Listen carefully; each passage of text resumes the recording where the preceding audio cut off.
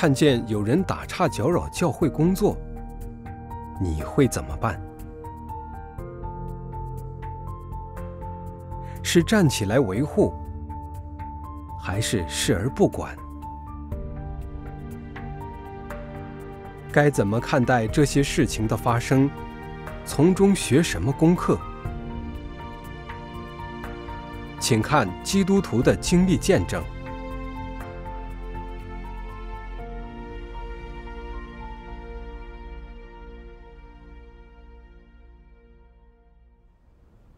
几年前啊，我从外地回到当地教会尽本分，听带领张鑫说，浇灌之事是小刘。我心里啊咯噔一下。小刘以往一贯挑拨离间、打压整治人，为了在教会中掌权，伙同几个恶人，攻击带领工人都是假的，在教会制造混乱。当时弟兄姊妹根据他的表现，分辨出他是恶人，已经整理资料准备开除了。怎么现在又做了浇灌执事呢？我就问张鑫，张鑫说：“小刘现在有变化，尽本分也有负担，让我凭爱心，用发展的眼光看待小刘。”虽然我还是有些疑惑，但是啊，想到自己刚回来，什么情况都不清楚，张鑫作为带领，应该不会违背原则选用人的，我就没再问下去。张鑫又提到，之前跟他配搭做带领的方姊妹，自从被撤换后啊，不尽本分，也不参加聚会，属于清除对象。让我提供方姊妹的作恶表现。哎，我心里很疑惑。方姊妹，只是尽本分，没有负担，属于不做实际工作的假带领。但是被撤换后，他还传福音、做事务工作，也没作恶呀。为什么要清除他呢？我越琢磨越觉得不对劲儿。我想到，以往跟张鑫接触时，他的报复心就特别重。方子梅曾经向上层带领反映过，张鑫尽本分，没有负担。难道他是因为这件事儿怀恨在心，想报复方子梅？哎呀，要是这样，张鑫那就是整人治人呀，那可是作恶呀。是。但是又想到，我对方子梅近期的表现不了解，现在还不能确定张鑫就是有问题，等了解清楚再说吧。嗯，对对。之后我听说，张鑫在聚会时歪曲事实，论断方子妹，一个姊妹反驳他，他就定罪姊妹和方姊妹拉帮结伙攻击带领，让姊妹隔离反省。另一个姊妹因为说方姊妹对人有爱心，张鑫就编谎，说姊妹有安全隐患，把姊妹隔离在家三个月。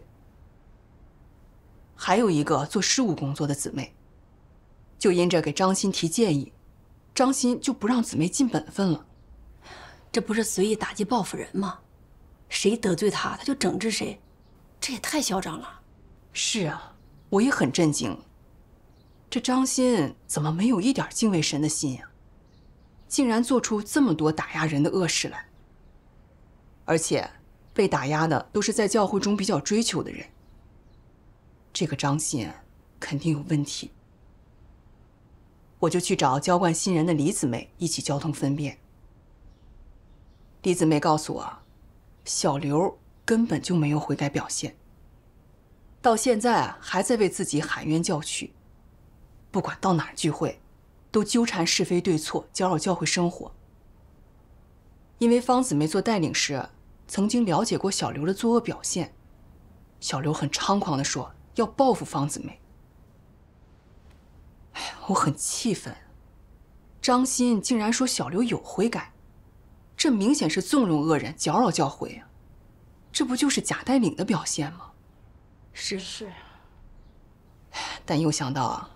张鑫做带领时间不长，我也没有交通帮助过他，就决定把这些问题先给他指出来。嗯，张鑫的问题挺严重，是得给他提一提啊。嗯，是。见到张鑫后啊，我刚提了他，违背原则、不让人尽本分的事儿。没想到他竟冲我吼道：“有的人不服我，还在背后说我的坏话。谁对我有意见，我都知道。不服，你去跟上层带领反映啊。我行得正，坐得正，不怕哪个人说我什么。明明他自己作恶，反倒说是别人说他的坏话，他这是倒打一耙呀。是啊，但是看到他凶恶的样子，我害怕了。现在教会是他一个人说了算呀，谁不听他的，他就打压谁，整治谁，简直啊是一手遮天了。今天我刚说了一句话，他就对我这么凶。我要是再继续指点揭露他，恐怕他也不会再让我尽本分了。那我的生命不就受亏损了吗？想到这儿，我就没再继续指点他的问题。回到家后，我心里很受责备。教会有恶人搅扰，弟兄姊妹受到压制。张鑫不但不处理，还打压人。我指点他的问题，他也不接受。我应该向上层带领反映他的情况。是，对。之后啊，我就去找李姊妹，一起交通了写检举信的原则，准备检举张鑫。但是。当我们把张鑫作恶的表现都写完，准备上交时，我又犹豫了。如果我们写检举信的事儿被张鑫知道了，他随便定个罪名，栽赃陷害我们，把我们开除了怎么办？开除了还怎么蒙拯救啊？想到这些，我迟迟没有上交检举信。但看到教会的混乱。不检举，我心里也难受。眼看着贾带领恶人在教会掌权，打压整治神选民，不揭发检举，良心也是空空啊。是。一天晚上，我去李姊妹家，张鑫突然来了，他气势汹汹的指责李姊妹在教会揭露他。看着他猖狂的样子，我心里啊很气愤。这人也太嚣张了。他在教会胡作非为，还不许弟兄姊妹揭露他，弟兄姊妹连说话的权利都没有了，整个教会都被他掌控了。我得有正义感，得站起来揭露张鑫，维护教会工作。是。但又想到，他这个人特别的狂妄，谁说的话都不听，报复心还特别强。要是把他惹急了，下一个被整治的人可能就是我。说不定他随便给我扣个罪名就把我开除了。哎呀，我心里啊很挣扎，就默默的呼求神，加给我胆量和信心。我想到神的话说：“每处教会都有搅扰教会的人，都有打岔神工作的人。这些人。”都是撒旦化妆打入神家的。这些人横行在教会之中，散布消极，释放死亡。想干什么就干什么，想说什么就说什么，没有人敢拦阻，充满撒旦性情。他们这样一搅扰，就给教会带来死亡气氛。在教会中。那些行真理的人遭到弃绝，不能尽上自己的所能；而那些搅扰教会、散布死亡的人，在教会中横行，而且多数人都随从。这样的教会简直就是撒旦掌权，就是魔鬼作王。教会中人若不起来气绝那些魔头，这些人也迟早要被断送的。以后对这样的教会应采取措施。若是能行点真理的人也不寻求，那这个教会就被取缔了。若在一处教会中，没有一个肯行真理的人，没有一个能站住神见证的人，这个教会就彻底隔离，必须断绝与其他教会的来往。这叫埋葬死亡，这叫气绝撒旦。阿门，阿门。神的话呀，给了我胆量和勇气，我心里不再害怕了。神的公义性情不容人触犯，神对那些作恶多端的恶人敌基督是极度的恨恶厌憎。即使他们在教会掌权嚣张一时，早晚也会被显明淘汰。是是是。神的话说得很清楚，教会一旦被恶人敌基督掌控，如果没有一个人实行真理，那这些人就是纵容邪恶势力在教会横行。这样的教会是撒旦掌权。如果不悔改，都会被神撇弃淘汰。是。我心里啊很受触动。张鑫在教会一手遮天，打击整治弟兄姊妹，我却为保全自己，不站起来揭露制止，任由他们作恶，搅扰教会工作。我这也是站在撒旦一边抵挡神，在他们的恶上有份儿。想到这儿，我鼓起勇气揭露张鑫袒护恶人，利用地位整人治人，走的是敌基督道路。张鑫听完后无话反驳，立即转换了话题，同意将方姊妹接纳回教会，说完就走了。看到撒旦蒙羞了，我心里很高兴。嗯，感谢神，感谢神，看到人愿意实行真理，站在神一边，撒旦就蒙羞退去了。是。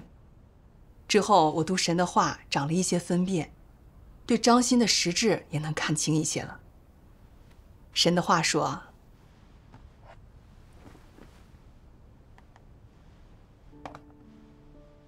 全能神说，敌基督的实质最明显的一个特征就是专权、大权独揽，谁说都不听，不把任何人放在眼里。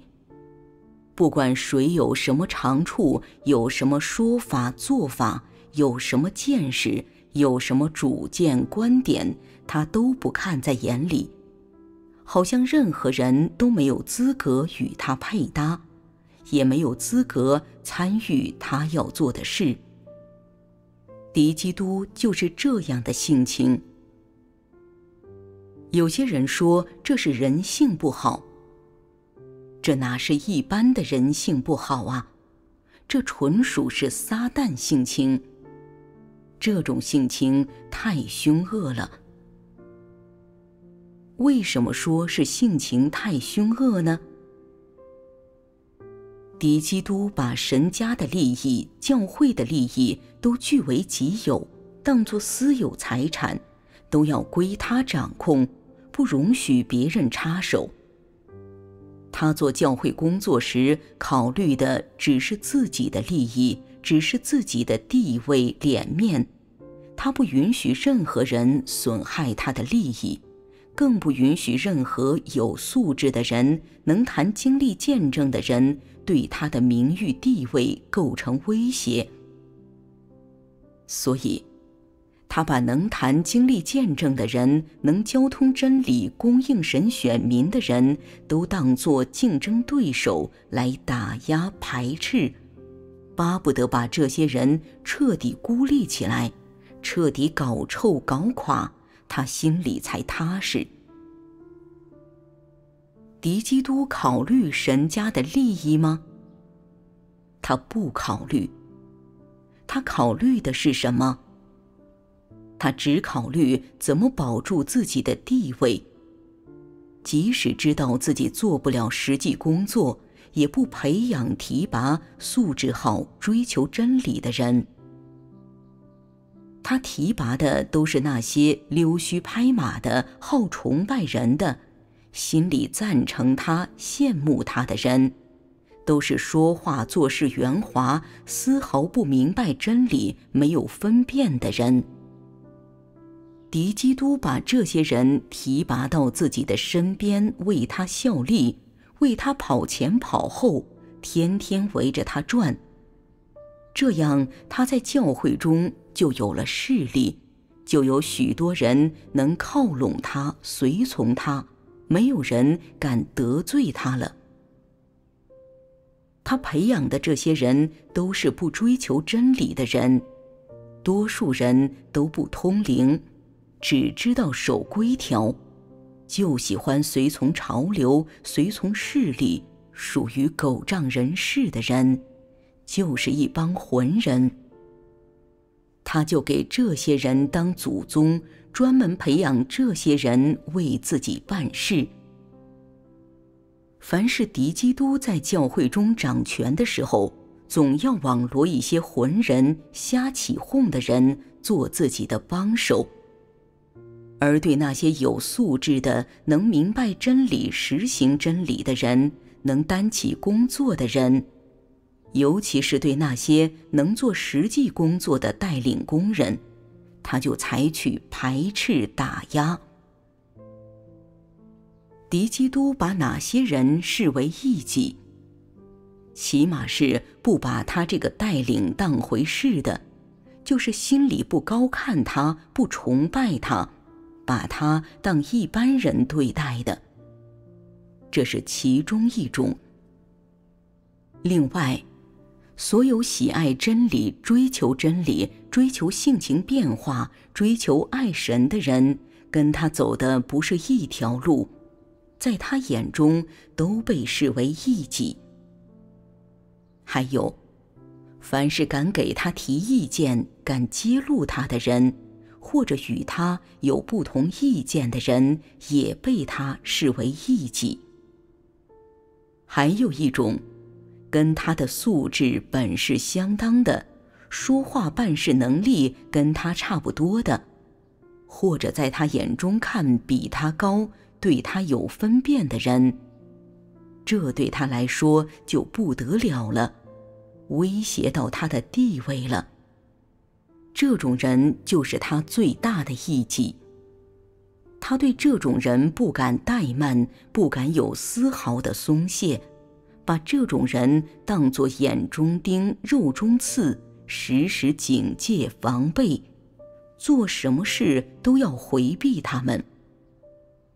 尤其看到异己要分辨揭露他的时候，他心里就更慌了，急不可待的要排斥打击这样的异己，甚至要把他们清除出教会才满意。他有这样的心思，心里被这些东西占满了，他能做出什么样的事？会不会把这些弟兄姊妹当仇敌对待？想方设法的搞垮、除掉，肯定会。能做出这种事，这是不是最大的恶行？是不是触犯神性情的事？阿门。神的话把敌基督的特征揭示的太清楚了。敌基督的主要特征就是专权。打击排斥异己，是敌基督的本性特别阴险恶毒，为了独揽大权，搞独立王国，把他喜欢的人都提拔起来，做他的左膀右臂。谁给他提缺陷、揭露他，谁对他的地位构成威胁，他就把谁视为眼中钉，不择手段的打击排斥，甚至将人清除出教会。敌基督的实质啊，就是恶人，他们厌烦真理，没有良心理智。不管把人整治到什么地步，心里也没有一点责备。对照张欣的表现，他作为带领，丝毫不维护教会工作，利用手中的权力培植亲信，控制教会，打击排斥异己。小刘是恶人，需要开除。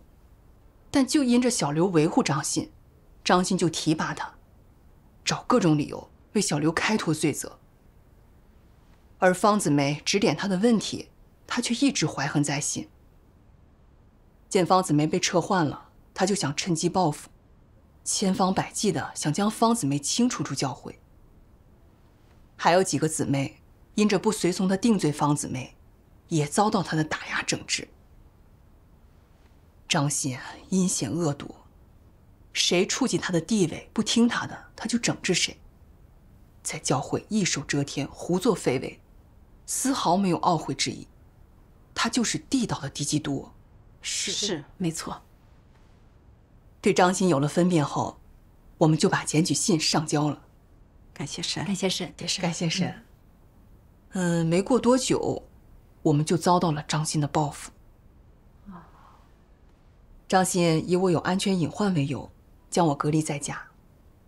李姊妹、袁姊妹因着对张鑫有分辨，也相继被他停止了聚会，隔离在家。一段时间后，张鑫又诬陷我和李姊妹想争做带领，在教会制造混乱，是恶人。让弟兄姊妹都弃绝我们。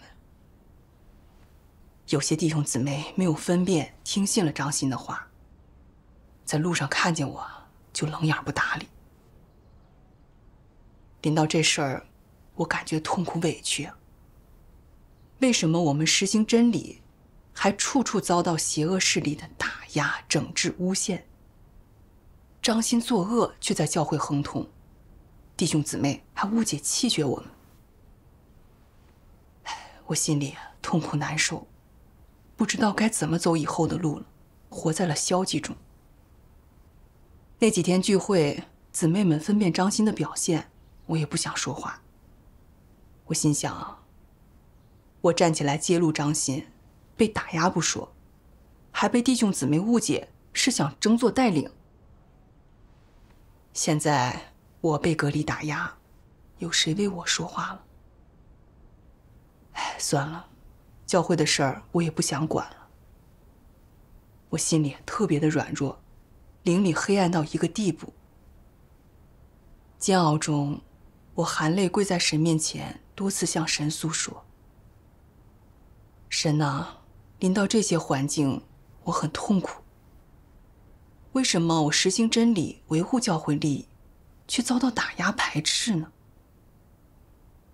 求神带领我。”能让我明白你的心意。后来啊，我看到神的话说，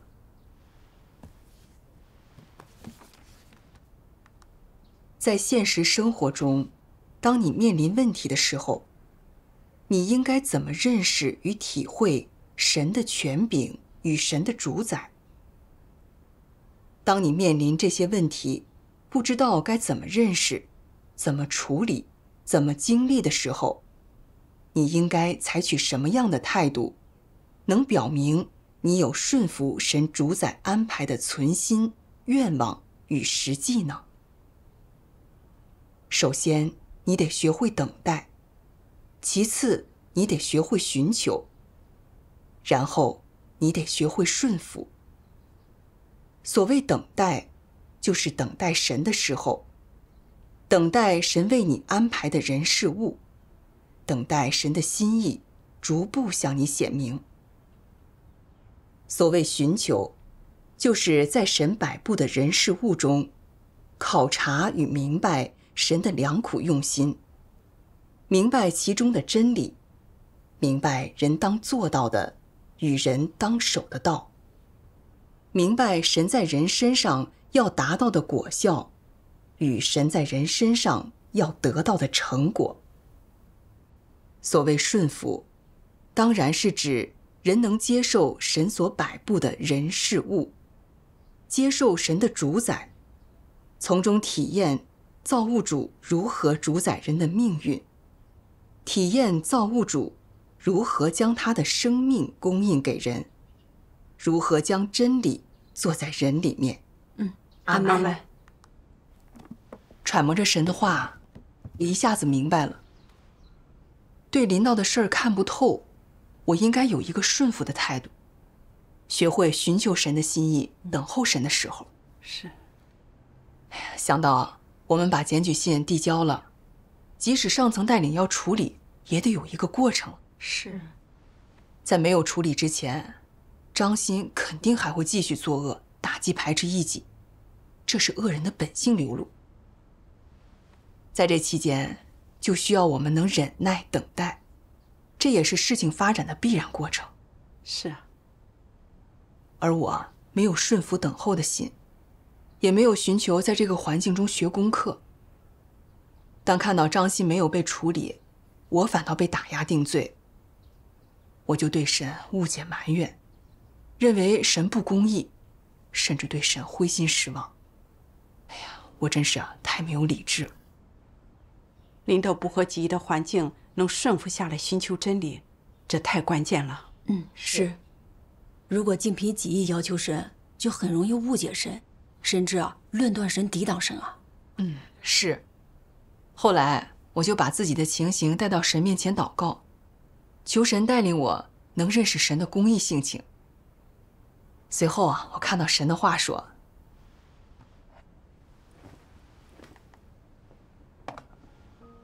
全能神说：“人到底怎么认识、怎么领会神的公义性情？一人蒙神祝福，恶人遭神咒诅，这就是神的公义。神赏善罚恶，按个人所行的报应个人，这话没错。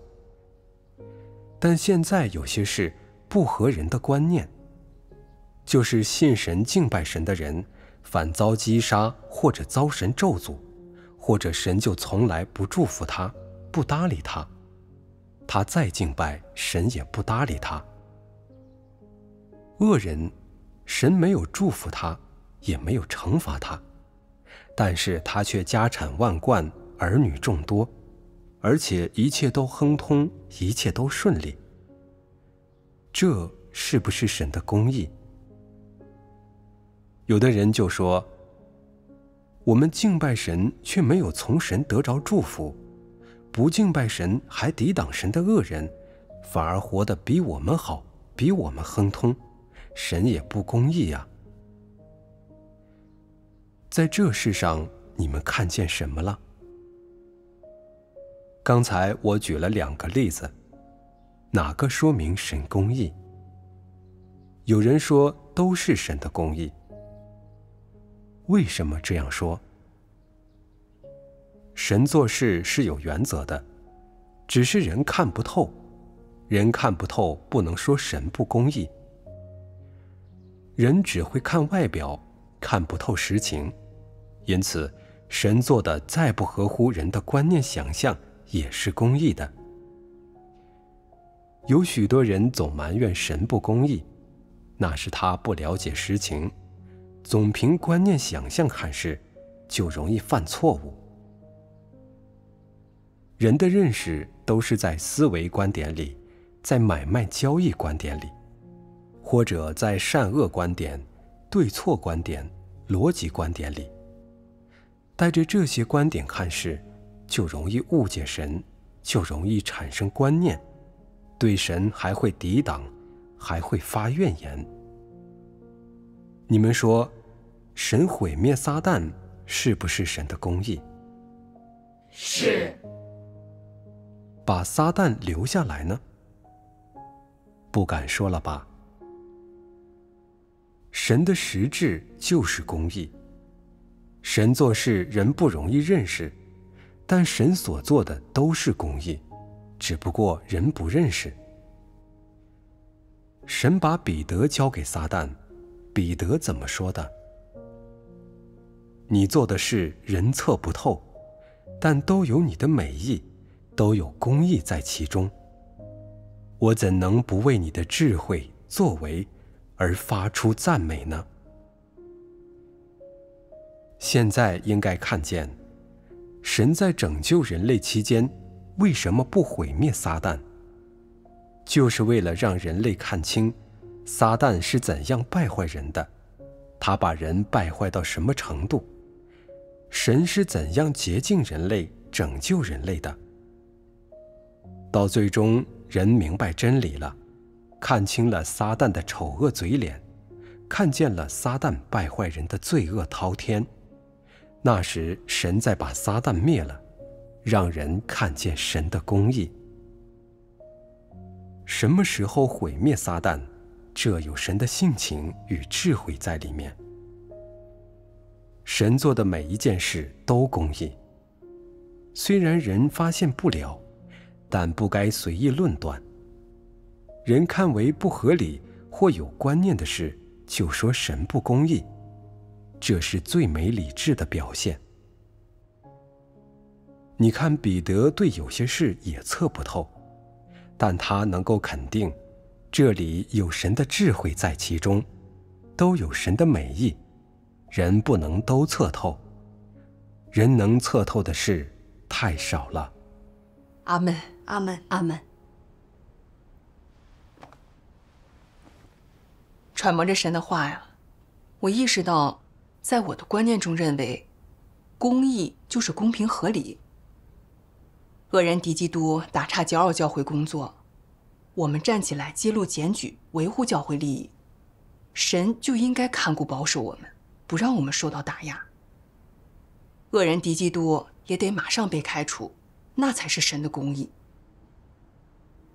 当看到我们写完检举信后，恶人敌基督不但没有被处理，还在教会占高位，将我们隔离定罪。我就对神的公义产生了怀疑，甚至无理智的责问：神的公义在哪？我真是啊，太狂妄了。想想彼得临到试炼的时候，受了许多痛苦的熬炼。虽然他对神做的测不透，但是他相信，神不管怎么做都是公义的，都有神的智慧在其中。是是，所以他能顺服神。最终达到了爱神至极、顺服至死，有了美好的见证。是，而我不明白真理啊，就根据眼前看到的一点现象，用交易的观点来衡量神的公义。神做的合我意，对我有利，我就认为神公义，就能赞美神。当被敌基督打压，涉及到我的前途归宿了。我就对神失去信心，甚至对神的公义产生怀疑，否认神家是真理掌权、公义掌权。我完全啊是根据自己能否得利来衡量神的公义，实在是太谬妄了。神是造物的主，神的实质就是公义。神恨恶邪恶，这是由神的实质决定的。虽然教会暂时没有开除恶人敌基督，但这并不代表神不厌憎他们的所作所行，不代表神不恨恶邪恶，也不代表教会不是真理掌权。这里有神的智慧，有神的良苦用心。是啊，只是我不明白，我应该有理智，站在受造之物的位置上，顺服神的主宰安排，能够向神祷告寻求。等候神的开启和带领。揣摩到这儿，我心里啊亮堂了，对神的误解也消除了。感谢神，感谢神。我又想到，教会中有些弟兄姊妹对张欣还没有分辨，借着这些环境，让弟兄姊妹一点点看清张欣的实质。嗯，大家都有分辨了，才能气绝他呀。是，这个环境对我们长分辨是很有益处的。是啊。神做工很实际，一点不超然渺茫。是，明白了这些，我就向神祷告，愿意顺服神的摆布安排，在这个环境中学功课。后来我看到神的话说：“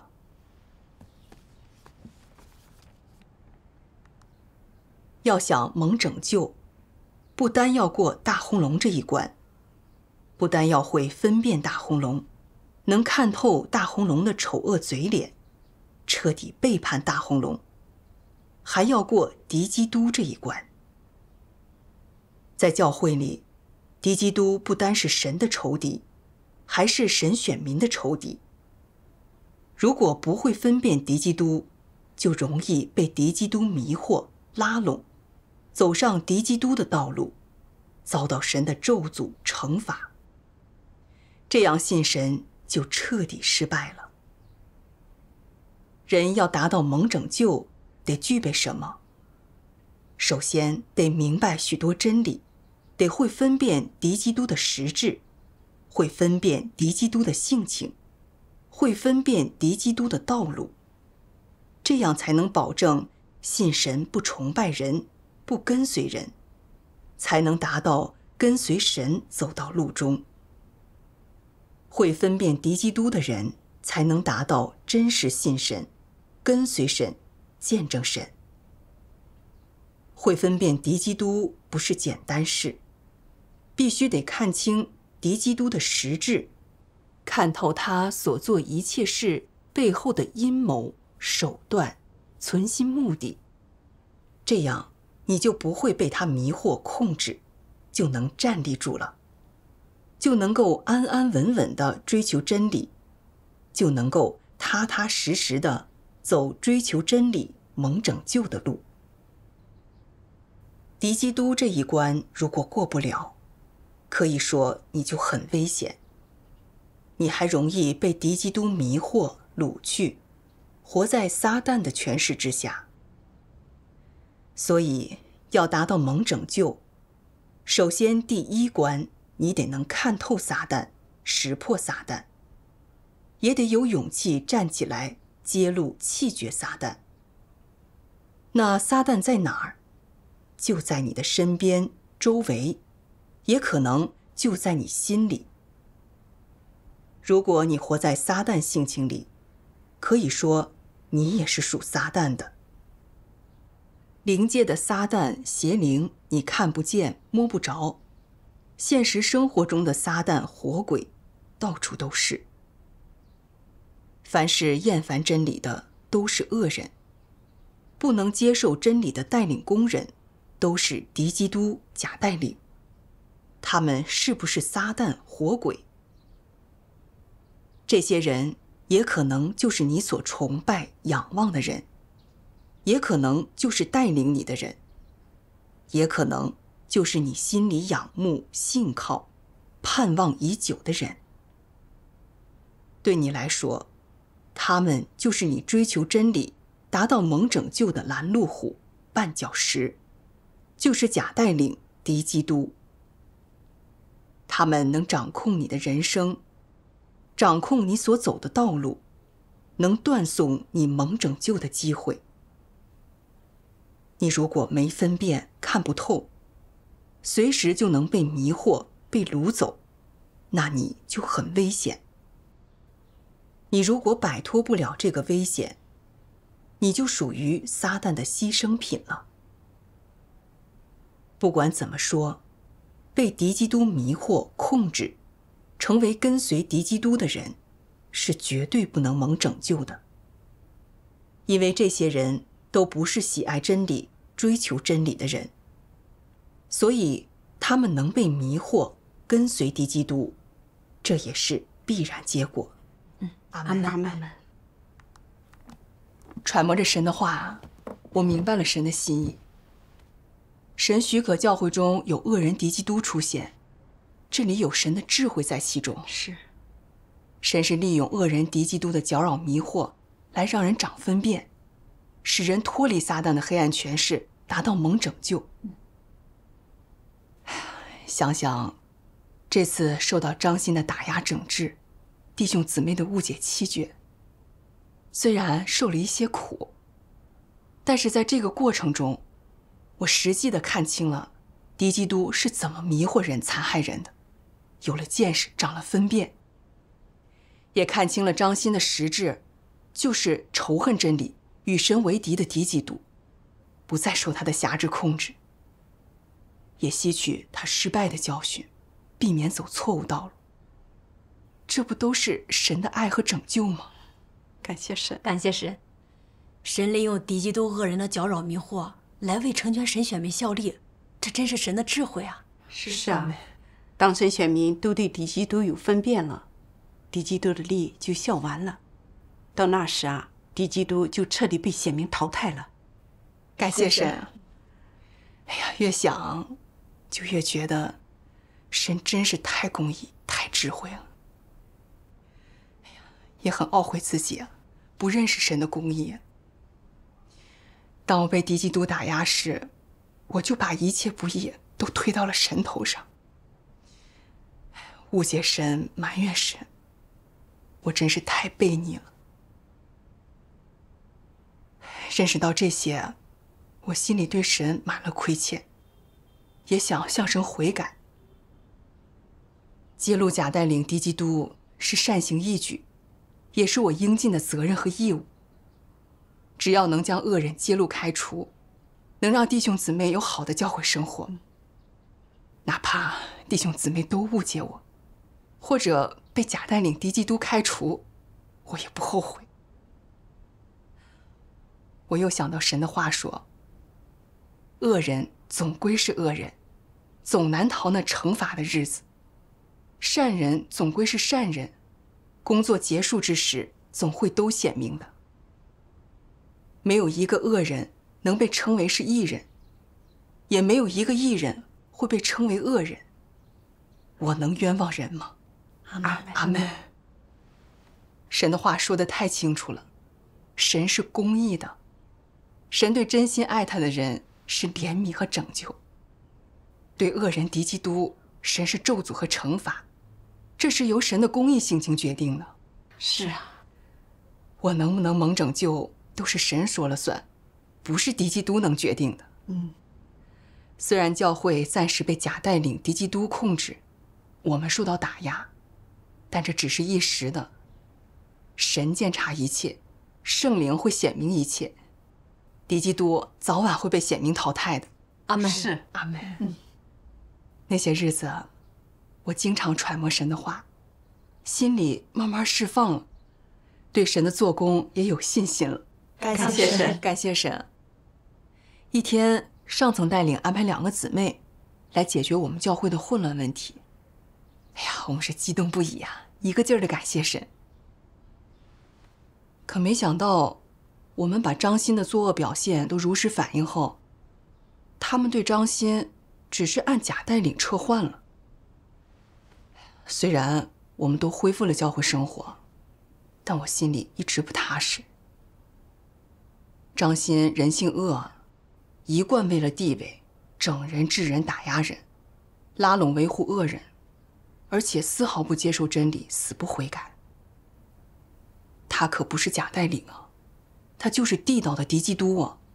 是啊，但又想到，如果我提出来，弟兄姊妹会不会说我抓住他的问题不放？哎，算了，我不管了，反正他现在也不能把我怎么样。想到这儿啊，我就不打算再提这些事儿了。灵修时，我看到神的话说。敌基督永远不会悔改的。想到张鑫就是敌基督啊，如果不开除，一有机会，他肯定还会继续搅扰教会生活，制造混乱。那到时候弟兄姊妹又该受苦害了。我得站起来揭露张鑫，不能再保全自己了。我看到神的话说。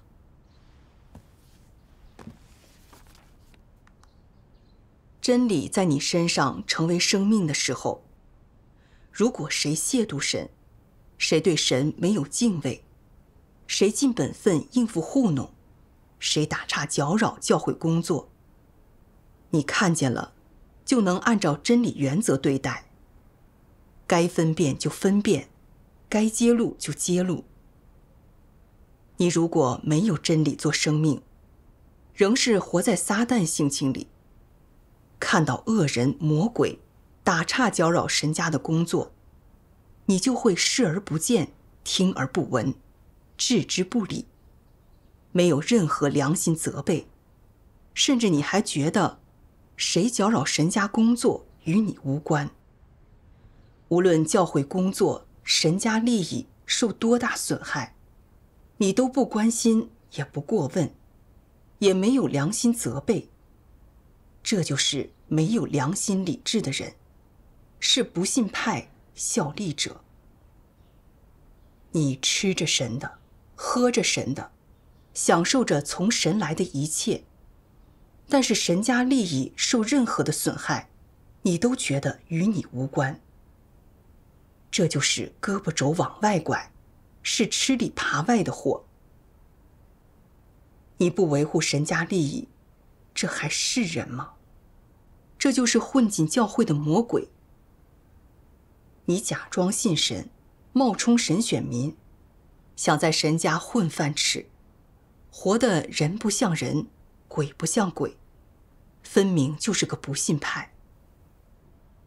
若是真心信神的人，即使还没有得着真理生命，起码说话做事能站在神一边。起码看见神家利益受损害时，不会袖手旁观。如果他想置之不理，他的良心也会受责备，感觉不平安。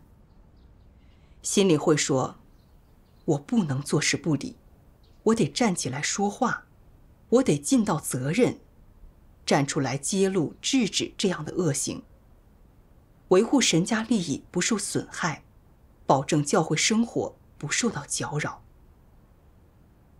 如果真理在你心里成为生命，那你不但有这个勇气，有这个决心，你也能看透这事，而且能为神的工作、为神家的利益，尽上你该尽的那一份责任。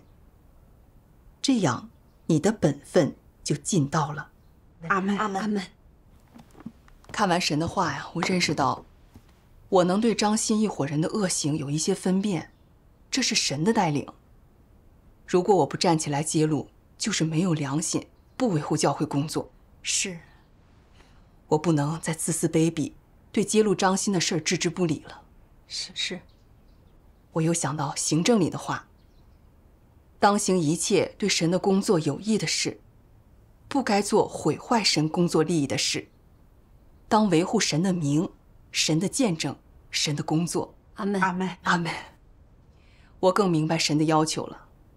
我作为教会的一员，只要涉及到教会的工作，我就有责任、有义务站起来维护。阿门。是，感谢神，感谢神。嗯。之后啊上层带领来了解情况，我就反映了张鑫他们的作恶表现。上层带领重新调查核实，通过聚会。交通分辨敌基督方面的真理，弟兄姊妹都有了分辨，纷纷揭露检举张鑫一伙人的恶行，最终确定，张鑫就是地道的敌基督恶魔，将他开除出了教会。哎呀，太好！感谢神，感谢神，感谢神。小刘也因作恶多端，死不悔改，按敌基督帮凶被开除了。一些受张鑫迷惑的弟兄姊妹也醒悟过来。都开始弃绝张鑫，不再跟随他。之后，教会生活恢复了正常。感谢神，感谢感谢神啊！神家就是真理掌权，公义掌权呀。嗯，是。这次检举狄基督，虽然一波三折，但是借着经历狄基督的打压，使我对狄基督有了一些分辨，长了见识，也对神的公义性情有了一些实际的经历认识。对神的信心更增加了。感谢神，感谢神，感谢神。